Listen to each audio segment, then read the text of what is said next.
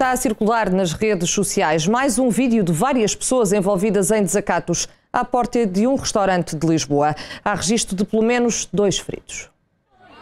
As imagens captadas no restaurante do Parque das Nações, em Lisboa, mostram o arremesso de cadeiras, agressões e clientes assustados na esplanada.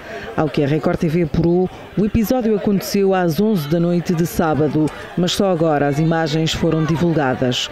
De acordo com testemunhas, na origem dos desentendimentos terá estado a entrada de um indivíduo no estabelecimento sem máscara. A ausência de proteção indignou alguns clientes presentes e terá sido aí que começou a discussão e a escalada de violência. À chegada da PSP ao local, os desacatos já tinham terminado, mas junto ao estabelecimento ainda permaneciam as duas vítimas que apresentavam ferimentos e que prestaram depoimentos à polícia. Não há detidos, apenas duas vítimas a registar, dois homens de 46 e de 39 anos. Desconhece o valor dos prejuízos no estabelecimento, segundo apuramos até ao momento o proprietário não apresentou queixa às autoridades.